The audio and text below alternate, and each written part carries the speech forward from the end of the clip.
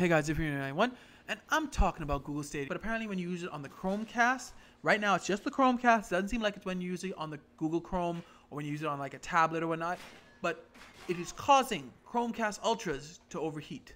Uh, something that's not a console is causing Chromecast Ultras to overheat. I mean, this is just this goes beyond the problems that when a new console, because not even a console, releases, or even a new streaming service like Disney Plus. When Disney Plus released, yes, it has many problems, but it's not even on that level. Google Stadia has gone to another level.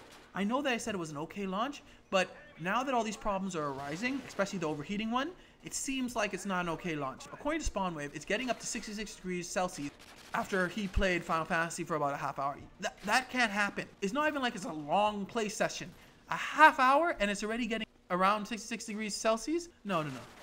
I think Google really launched this out of the gate too early. I think they should have waited because you saw all the missing features they had that were supposed to be there at launch and now they're not. So I think really Google should have waited till maybe mid or early next year to release this not console and to probably actually get all those features on it too. I think it would have had a much more successful time if it did that. But no, they seem to have launched it early and now they're dealing with these problems. And these aren't even like the red rings of death with the Xbox 360. At least that was after I think at least a couple months of playing it.